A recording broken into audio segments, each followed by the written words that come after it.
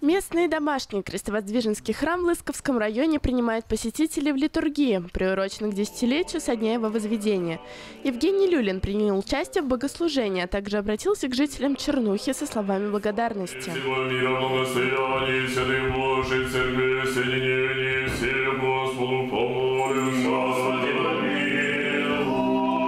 Для многих людей это место силы, э, где люди приходят в этот храм, набираются духовных сил.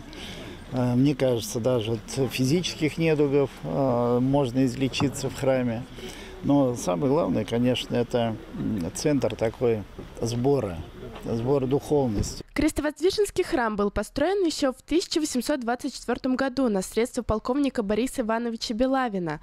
При храме находилась церковно-приходская школа для девочек, а также имелась библиотека. Храм обслуживал прихожан села Чернуха и деревни Кобылина. Уже в 1938 году по решению райисполкома храм был закрыт. Его переоборудовали под школу, а затем под клуб. Поздние храмы и вовсе разобрали. В 2011 году завершилось строительство нового храма. Вспоминается этот день 10 лет назад, когда также празднично было с течением множества народа совершена божественная литургия.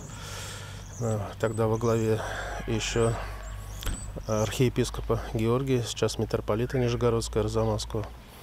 А в этот раз наш епископ Лысковской и Лукоянский будет возглавлять праздничную божественную литургию. Настоящий духовный центр села Чернухи, шатровая церковь с колокольней, более 150 счастливых посетителей. Жители поселка по-настоящему искренне радуются возобновлению храма спустя 10 лет.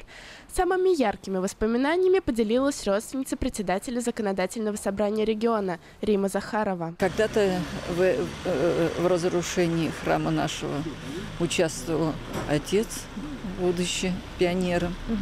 Вот. Евгений Борисович решил восстановить, так как отец всю, всю свою жизнь переживал за это. Вот, и старался искупить как-то свой грех. Поэтому для нас это как родной дом. Сейчас в храме проходят воскресные школы как для детей, так и для взрослых. Свою работу они начинают в 11 утра. Также проводят таинство крещения и бракосочетания. Двери храма всегда открыты для посетителей.